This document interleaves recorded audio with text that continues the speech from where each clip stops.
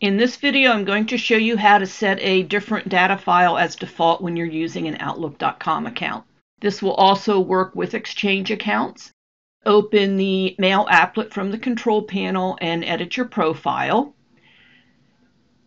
You'll go to the Email tab and add your Outlook.com account.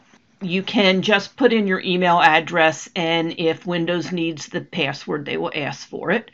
Click on Change Account Settings. Disable Cache Mode. You'll need to go into more settings to do this.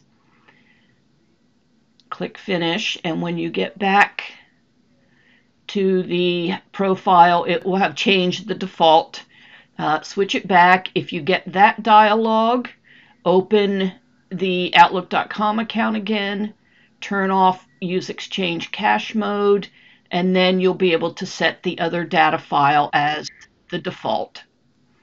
Close the dialogues, and when you open Outlook, it will have the correct default data file, and it will set the Outlook.com account to be cached. Outlook.com does not support using online mode.